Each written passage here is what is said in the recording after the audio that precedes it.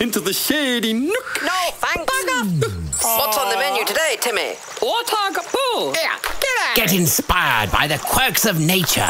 You can't help but admire my stripy attire. I'm the pipefish. Now I'm gonna rub my eyes and hey, are you still here?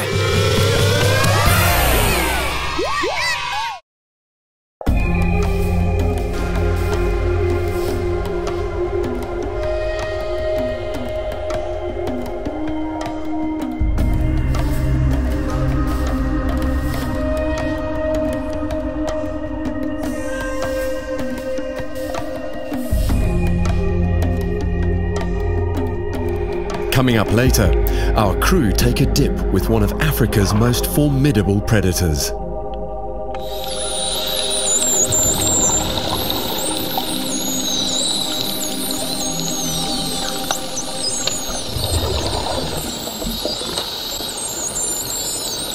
Well, one of the great natural spectacles that we're privileged to have at this time of year on our home coast in South Africa is the sardine run. And it's one of those amazing events that we get to witness. When you first get in the water here, it's difficult to settle down. You know, you jump in, it's noisy, you're being slapped, there's fish tearing around, there's a lot of sharks.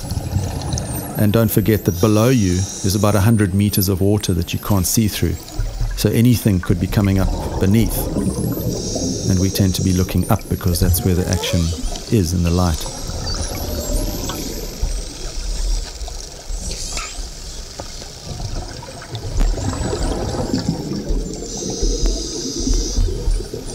You can feel animals swimming past you. You feel the water hitting you from their wakes. And the noise is quite intense.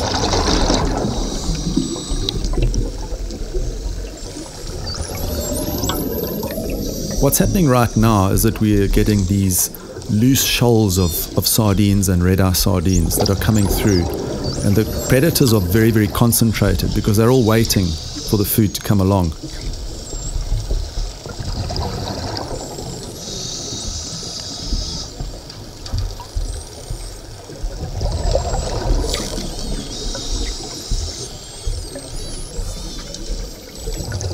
One of the things I found really amazing are these Cape gannets and the way they dive. You can see the vapor trails above.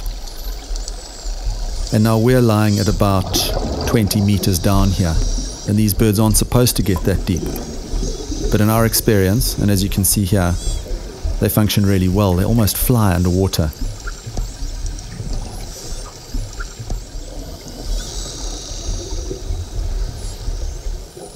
But after a couple of seconds of watching this, you tend to forget that you're actually there. And looking through the camera, it's almost like watching television. So, in a way, we're removed. And it's only when you take your eye away from the viewfinder and look at what's going on that you start to question what you're actually doing in this situation.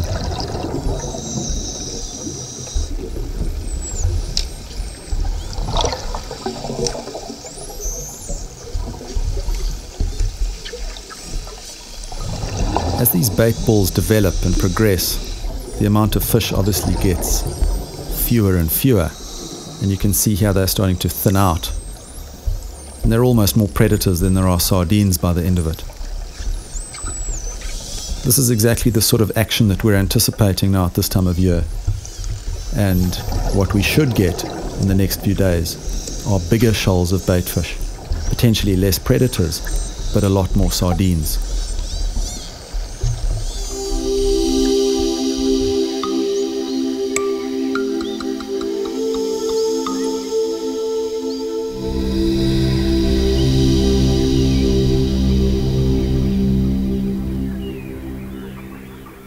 Well, at the moment in the Okavango Delta in Moremi Game Reserve, the winds of change have blown and winter's just arriving.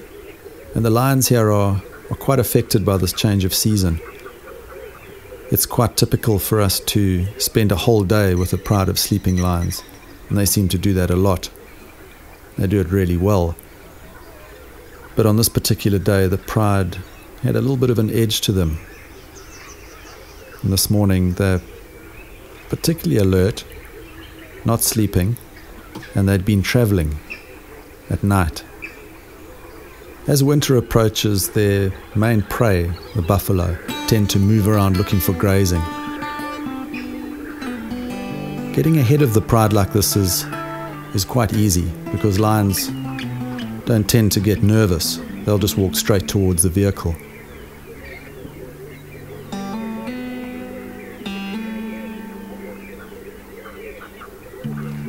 Lechwe keep a fair distance away.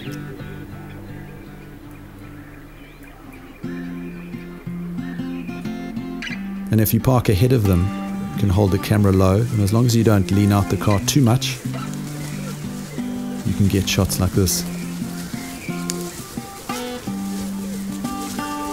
They tend to regard the vehicle as a single form, so as long as you don't break the outline, you're safe and they remain settled. We just put the camera on the ground here, got a wonderful low shot of the pride passing by, and they don't tend to take much notice. Because of the time we'd spent with these animals, they're pretty used to the vehicle as well.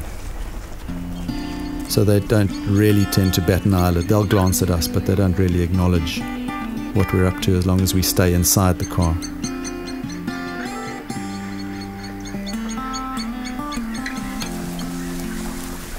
Coming into their hard season for them. The end of winter is quite desperate.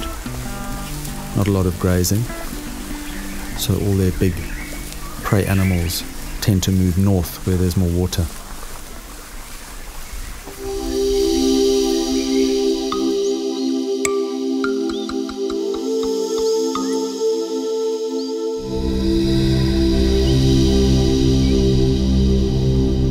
Winter is truly a fantastic time in southern Africa, and one of the other special things that we have in this area is the Okavango Delta. And as winter sets in, we get this cold water flood that comes through the panhandle of the delta. And it's freezing. Standing on this boat, it's probably 9 or 10 degrees Celsius. We're bundled up, dreading getting into the wetsuit to go diving with the crocodiles. Once we've jumped off the boat into the channel, we're in amongst dead tree stumps, massive trees that have fallen off the islands, and the current is really the first challenge that meets us.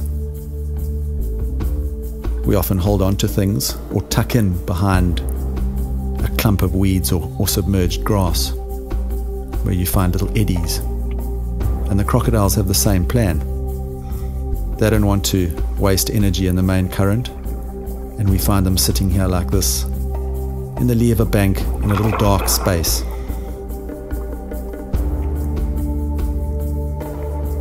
We wonder what they think of us, and they're definitely very cautious.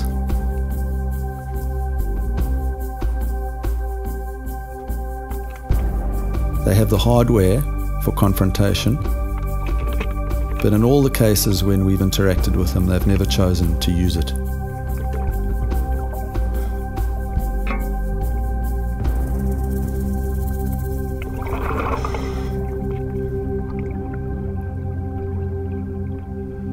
If you choose the right animal, you can end up getting really close. And eventually they politely decline your company and move off into deeper water.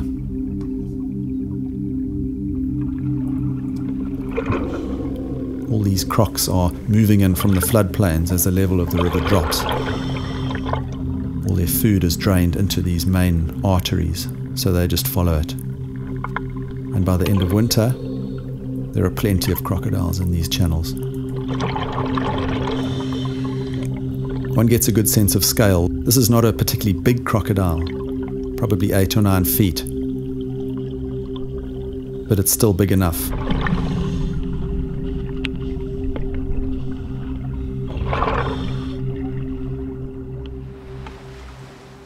Next week, our crew make a sad discovery on a local South African beach.